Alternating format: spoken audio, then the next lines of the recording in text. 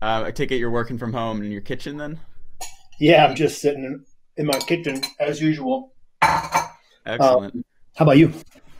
I'm recording currently in my bedroom. I'm making a makeshift recording studio, carpeted room, and it's got a. It's the only spot where I, I think I won't get very much reverb. So we'll see how this goes. From Peloton Magazine, this is Aérogramme Talks, presented by Pinarello. Jonas Carney is the performance director of Rally Cycling. With riders all over the world managing through this pandemic, Associate Editor William Tracy spoke with Jonas to learn more about how the team and the riders were doing. Jonas, you've been with Rally Cycling since its inception, correct? Yeah, uh, I started with the team in the very in the the first year. Uh, as the cycling, as the Rally Cycling's uh, performance director, if everything were normal right now, uh, what would you be doing today? If everything was normal right now, I would have just finished two one day races in France, uh, Loire Atlantique and Cholet.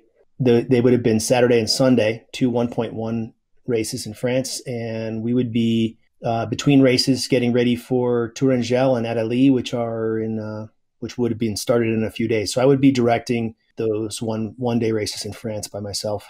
So instead, now what's your day to day schedule like? What are you doing? Um, you know, we're still we're still trying to stay busy with team stuff, but mm-hmm. really we've just had to pivot and um, focus on communicating with the athletes, making sure they have what they need, communicating with our office staff to make sure that we're doing what needs to be done via social media, things like that. And um, it's a lot of uh, phone and computer time, but really things have slowed down tremendously because we're not on the road so um, things are things are pretty slow, but we're trying to stay busy and and do what we can do. Um, so were there any challenges in getting your riders back home? Say like after it became clear that races were getting canceled and that this was a very serious situation. You know, it, it wasn't too hard to get everybody home. We were we were pretty pretty proactive. We we made our decision pretty quickly, mm-hmm. and um, we were able to get plane tickets for everyone and get everybody home there wasn't too much complication aside from some of the athletes. A few of the male athletes were um, hoping to stay mm-hmm. in Europe, and they pretty quickly realized that it was a, not a great idea, and um, they were they were on their way home way home pretty quickly.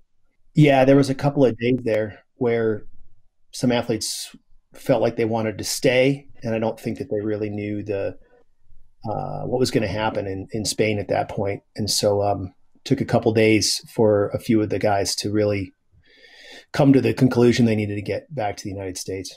So, in terms of uh, your riders, their training plans, what's the general strategy now? How are you guys handling that? Um, you know, we we sort of ad- addressed that last week. You know, we're sort of flying blind. We don't really know what the first races back are going to be. We could be racing in June, could be July, could be August. Who knows? So it's it's tough, but we've communicated directly with all the athletes and you know we're working with their coaches to come up with a strategy i think some of the guys are approaching it in um, different ways but ultimately for the most part the guys have had to sort of revert back to you know sort of basically pretending that this is winter time november december yeah. because it's very unlikely that we'll be racing before june yeah base miles probably a little cross training strengthening stuff you know um, I think each one of them's got a little bit of a different plan based on what they're accustomed to doing in the off season. But for the most part, they're sort of treating this like the you know like it like as if it was December. Now, if races when they finally do happen, or if they happen this year, how much time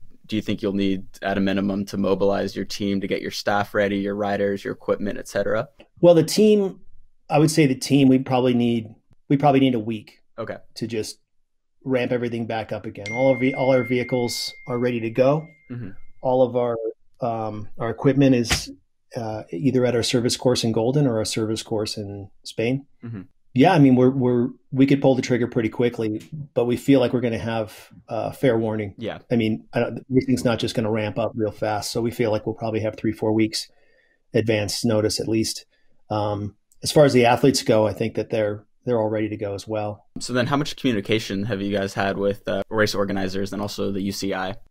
Uh, we've been receiving a few communications here or there from the UCI. Um, we've uh, I'd say our communication with race organizers has just been kind of patchy. Some of them have, you know, just canceled their events and gone silent. Mm-hmm. Um, some of them are still on the calendar and they're not sure what they're going to do. Yeah. Because they're they haven't canceled or postponed yet, and then others are actively trying to um, reschedule. And we've received a few notifications about what dates they're looking at. So I assume okay. that races that have been canceled in the spring are trying to solidify dates in the late summer um, or fall, and they've been probably communicating with the UCI on that. Um, are you worried about any races maybe not being able to take this financial hit? And is that more of a concern with that for you for a domestic uh, calendar versus the international calendar? It's it's all kind of concerning at this point, whether it be domestic races, international races, uh, mm-hmm. teams. Um, you know, I think it's just concerning that that um, the sport in general could could really struggle with this, whether that's races or teams. Um, but um, hopefully, most of the races on the calendar that we were, you know, hoping to do for the rest of the season will will um, will be okay with this. Mm-hmm. Um, but uh, yeah, I mean, there's definitely some concern that that uh, financially some other races would have to cancel, even if even if racing starts again. Yeah. Um, have you thought much about how uh, this halt in racing affects uh, signing riders for next season? Because um, if there's really no, nothing to go on results wise or racing wise, um, riders, especially on a contract year, might have uh, have little to no actual racing to prove themselves for 2021. Yeah, you know, I think that could be um, it could be very interesting to see how things sh- shake out. You know, some riders, some riders that are you know we're sort of in a renewal year that really need, needed to get results this year are not getting the opportunities that they yeah. needed. So this could be difficult on on certain athletes in general, I think the teams will sort of make the adjustment. Everybody's in the same boat. Yeah, we all understand. Definitely.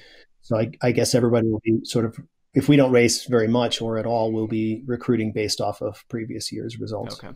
If no more racing ends up happening this year, which hopefully is not the case, um, how would you rate your team's performance through the first two months? You know, I think, God, that seems like a long time ago. Um, a whole month. seems like, I mean, it's like, you know, just, it's strange to think like, wow, we were just racing recently. You know, I think our team was on track. We were doing a good job. Um, the way that the guys performed in um, Argentina and Colombia was was very solid. Uh, the way that the guys raced in Saudi Arabia was good, and um, we were able to pick off a couple of nice results, like the um, like in Spain, uh, the, the riders who came back from Saudi Arabia did. Uh, was I think it was Adam de Vos who pulled a second place there at a major race in Spain at the in sort of towards the end of February. And um, so, yeah, I think we were on track and um, it was looking promising. You know, the guys, uh, the guys, if we weren't generating the results, we were in the race, racing at the front, racing aggressively and, and, and challenging for results. So, um, we, we were on track to have uh, what, what, what looked like a, a good start to the season.